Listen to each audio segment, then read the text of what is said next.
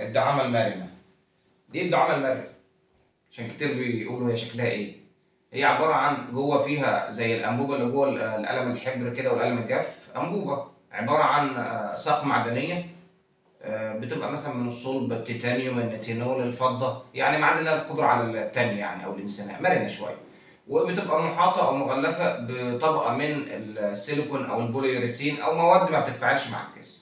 هي ببساطة بتشتغل إزاي؟ إنها بتخلي ال- العضو يتفرد والتاني حسب الطلب، يعني إيه؟ أنا مثلا آه، ماشي في الشارع بيبقى تاني العضو كده ده وضع الارتخاء.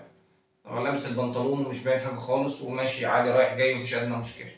عاوز يمارس العلاقة الجنسية أو يخش الحمام بيروح فرد القضيب.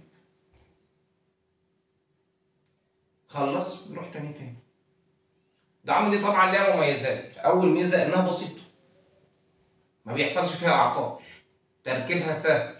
سعرها أقل من النوع التاني اللي هو الهيدروليك وده السبب الأساسي للانتشار. عيبها إيه؟ هما يعني في ناس بتقول لك إن عيبها إن هي بتخلي طول العضو الذكري ثابت في الارتخاء والانتصاب يعني هو كده انتصاب وكده ارتخاء. الطول نفسه ثابت. ولكن ده مش عيب من وجهة نظرنا.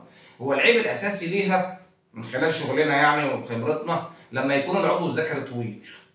ليه؟ لأن أنت لما يبقى عندك العضو الذكري متوسط مثلا هيبقى جزء المتن كده. لكن لو العضو الذكري طويل بيبقى الوضع كده.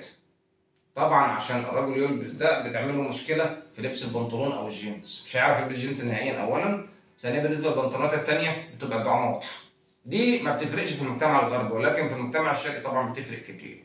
يبقى اذا المريض اللي عنده ال- العضو طويل وده غالبا بيبقى في مقاسات 13 يعني من خلال خبرتنا الشخصية يعني في الشغل.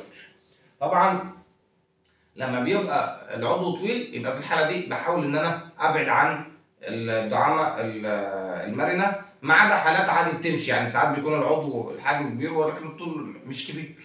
القطر ما بيفرقش معانا خالص اللي بيفرق معانا الطول والطول الظاهر.